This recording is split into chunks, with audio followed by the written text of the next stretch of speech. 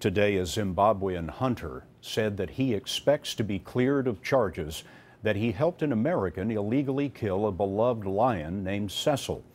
The American, Walter Palmer, does not face charges.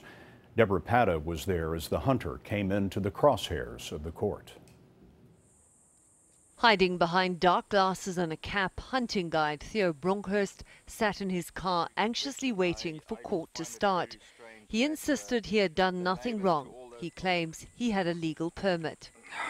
Well, I guess I shot a famous lion. Cecil was a major attraction at the Hwange National Park. The government says Bronkhorst lured Cecil off protected parkland to a nearby farm where he was shot with a crossbow.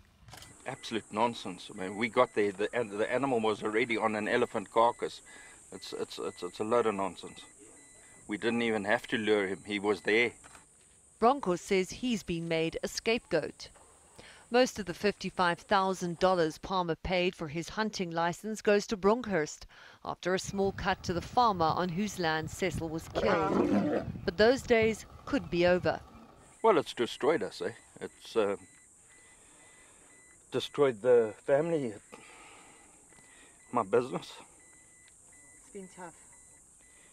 You know, we we employ a lot of people and they're all on half time now. I guess each family is supporting six, six or more dependents.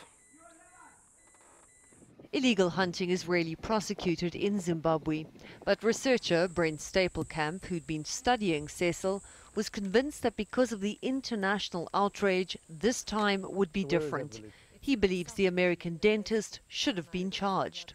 But really thought that this was going to be an example um, to other people that have done this before or who would do it in the future. Um, so very disappointed that we're not going to see justice. Bronkhorst told us that if the American dentist isn't facing charges, then he shouldn't either.